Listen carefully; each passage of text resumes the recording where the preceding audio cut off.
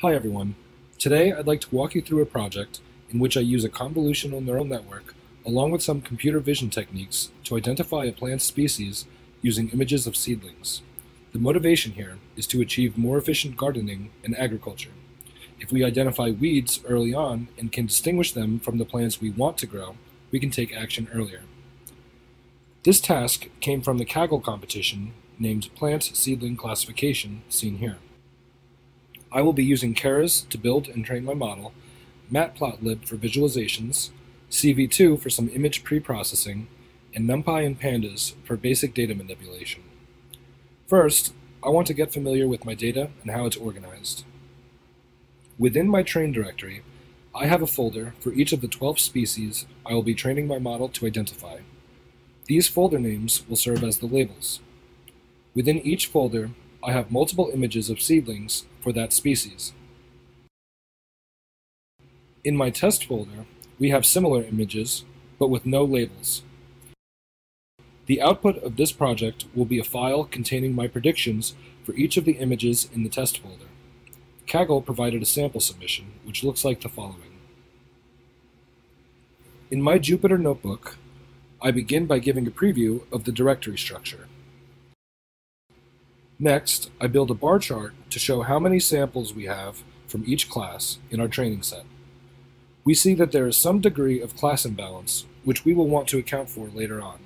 With only a few hundred samples per class, we likely want to use image augmentation to get the most learning out of this data, especially since we will have even fewer samples per class once we split out a validation set from this training set. Next, I display a few random images from each class. Some things I noticed are that we can have pretty dramatic differences in image resolution. Look at this common wheat image. Another thing that stood out to me is the different stages of growth for images within a given class. For instance, these first two scentless mayweed images are clearly more mature than the second two images. This kind of variability may increase the need for a more complex model. I also noticed that the lighting and background is mostly consistent and the plants we want to classify are all green. This could allow for a strategic pre-processing of our images, which can speed up the learning process.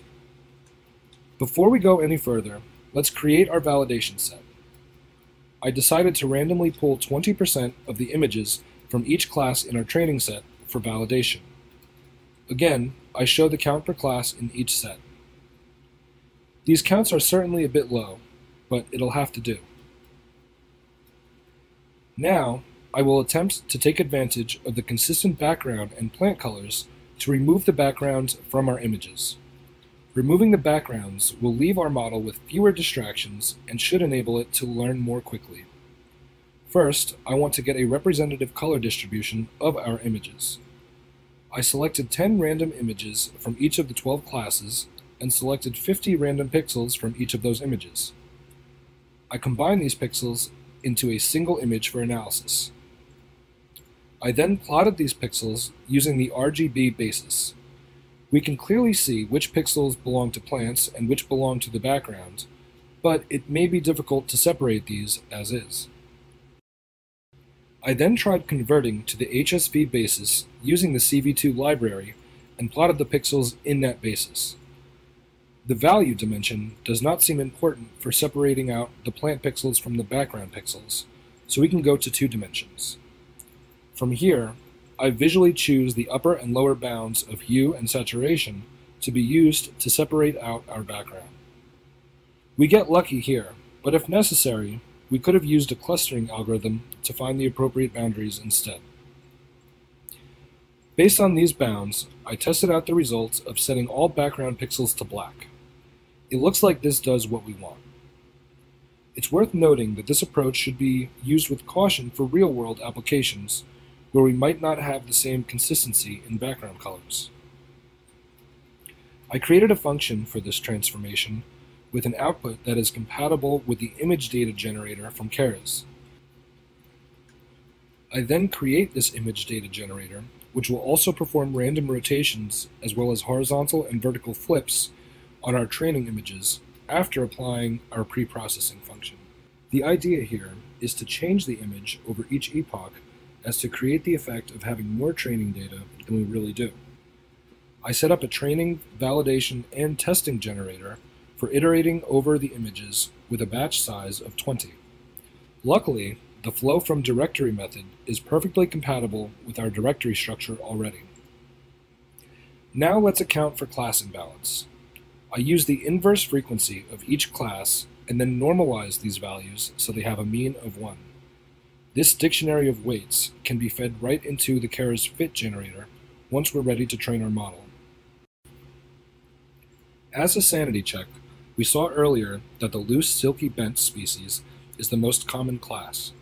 As expected, we see that it has been assigned the lowest weight, and so each training sample from this class will have a dampened influence when updating our trainable parameters. Now it's time to build our model. I have experimented with several different hyperparameters throughout this project. I've experimented with the number of layers, use of batch normalization, learning rate schedules.